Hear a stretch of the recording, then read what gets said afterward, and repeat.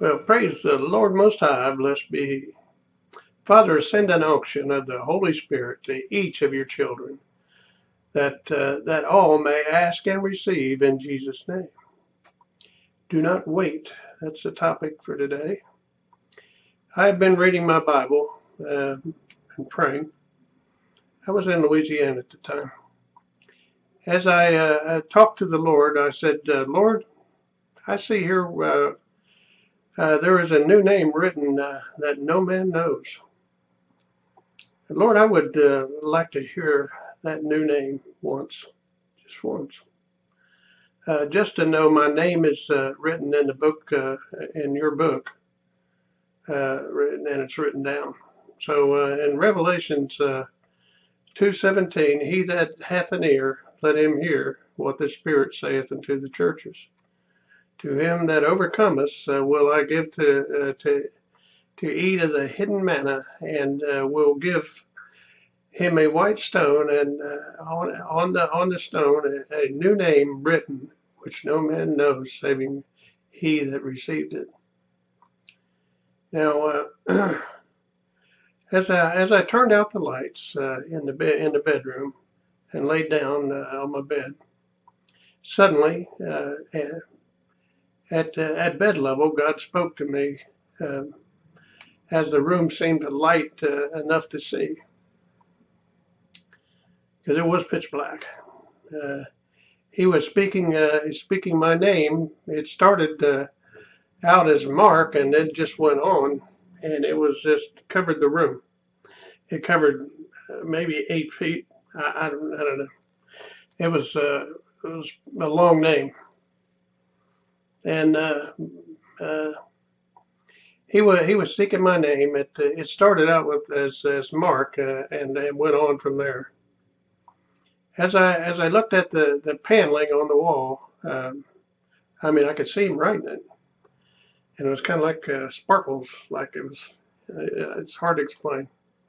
At least eight foot long, and uh, and on the end of the name was like it was two more names uh, which which lar- with larger writing, maybe five times, maybe uh, even more than that, the size of, of the rest of the names, larger.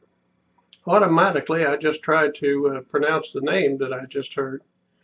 I could not do it as hard as I tried. Then, uh, uh, then the Lord spoke again and said, uh, "You are not able to repeat it." I was, uh, it was then I, I asked the, the Lord, uh, why is it so long? Again, he spoke and said, because my son, uh, you will be doing a lot of different things. I had understanding, for I knew uh, what he was telling me. In the Old Testament, they sometimes named, or most times named, uh, their children after certain events or things that happened. And uh, I fell asleep after that. I woke up uh, refreshed uh, and uh, off to work I went. I I know now also that uh, I am on my last name, and he and he has told me uh, he has told me that name. He uh, he now calls me the Word of the Tabernacle of God. So that's what he calls me.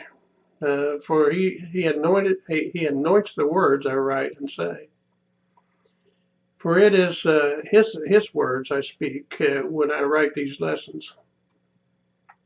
Like what it, like what it, was, uh, it was said to me early in my ministry that I would be uh, going out into a unique ministry, and unique it has been. It certainly has. It's like no other. The uh, well, that's what unique means, one of a kind.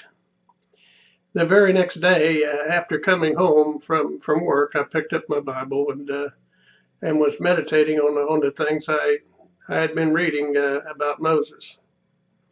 How the Lord put him in a cave and, and covered, uh, covered it with his hand and walked uh, by so he could uh, see the image of the Lord. As I was uh, saying my prayer, I said, I said to the Lord, Lord, I love you. And wow, would it be great, it be so great so, uh, to see your glory as Moses did.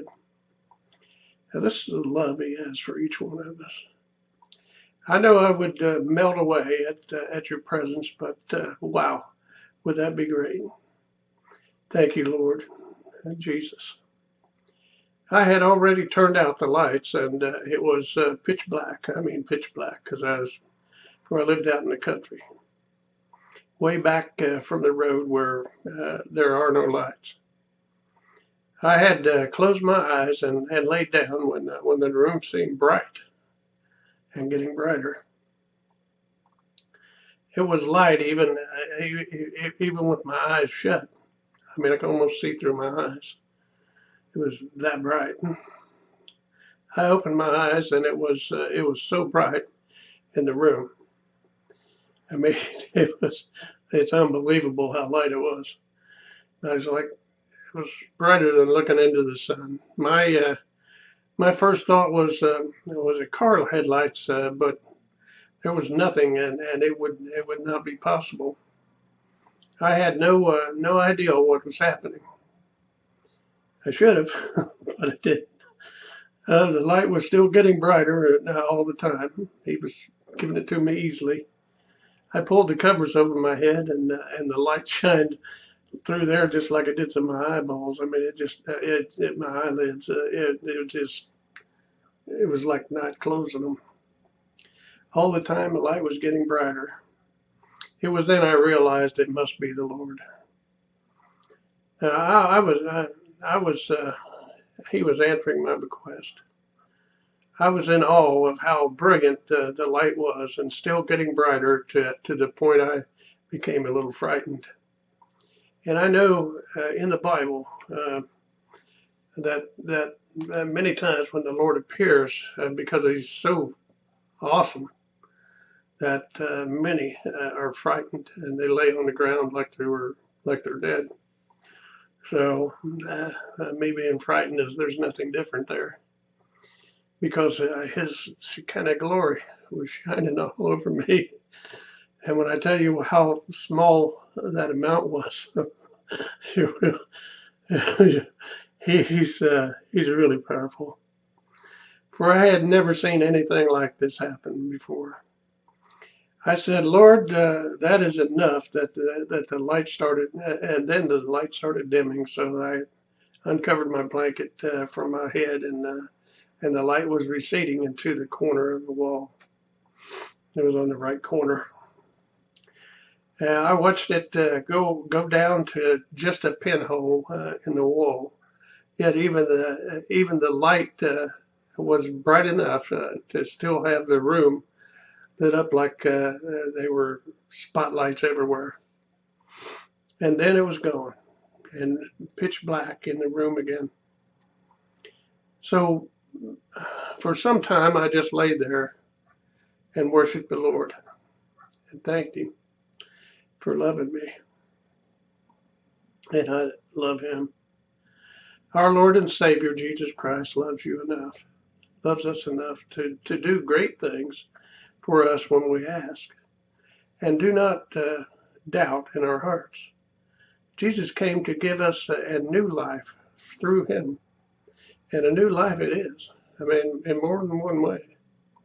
He made a way to, to share his inheritance with us that we may uh, sit with him on his throne. Now, now let uh, let no one tell you that uh, that that, that you are not important to the Father. You indeed are very important to the to the Lord, no matter what has transpired in your life. Just as uh, our children are, are important to us, we, we are baptized in the name of Jesus Christ, and He fills us with His Holy Spirit. You are then a child of God. That's your seal. And may uh, you're born again at that point. Many have said, been robbed, uh, thinking they cannot receive healing or anything anything other than uh, a token headache uh, relief because they look at things uh, through the eyes of the flesh. Pray and fast and seek the Lord with all your heart, and He will give you what you ask for. For when you uh, do this, uh, you will grow in strength That's fasting, praying, and, and power in the Holy Spirit which dwells in you. And that's the Spirit of Jesus Christ that dwells in you. The Bible's plain about that. The Lord has uh, has spoken to me, to me since uh, then and told me I would uh, would not die. So uh, the Lord showed me uh, some time back now that I am uh, on the last name and halfway through that name. This was a couple of years ago. So we're getting close. Uh, uh, are we close to the end? Do you have time to wait? The Bible is clear about the, about the things that are coming on the earth. In Luke uh, 21 26, men's hearts failing them for fear and for looking after the things which are coming on the earth, for the powers of heaven shall be shaken. Can you afford to wait? I wouldn't. Father, open the blinded eyes, send uh, light to the blind, and helping uh, a helping hand to, to those uh, lost in darkness, guiding us all to everlasting fellowship with you in Jesus' name. Let us come now to and invite uh, Jesus into our hearts. Go then and be baptized in Jesus' name and filled with the Holy Spirit of promise. Let us now take our request to the Father in Jesus' name. Father, we come to you with all requests, whatever uh, is on the hearts of anyone that's watching.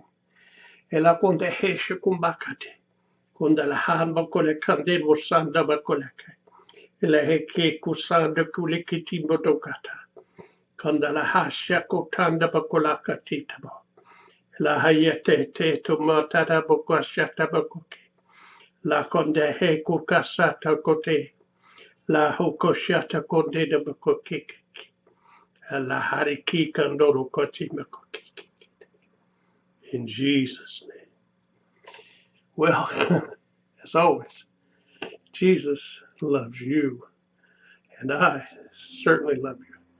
You stay blessed. Until next time, in Jesus' holy name, blessed be He.